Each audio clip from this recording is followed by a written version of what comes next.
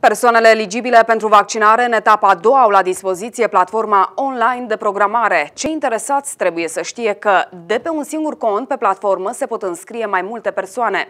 Pentru ca demersul să poată fi dus la bun sfârșit, aveți nevoie de un număr de telefon și de cartea de identitate. Persoanele care doresc să se programeze la vaccinare o pot face pe platforma online anume destinată acestor proceduri. De pe același cont se pot programa mai multe persoane pe baza actului de identitate și a numărului de telefon. Pentru a vă putea programa la vaccinarea anticovid online, trebuie să intrați pe site-ul vaccinarecovid.gov.ro unde veți crea un cont, după aceea vă veți autentifica pe acest site veți completa un formular cu toate datele dumneavoastră personale, după aceea veți valida numărul de telefon și vă veți face programarea.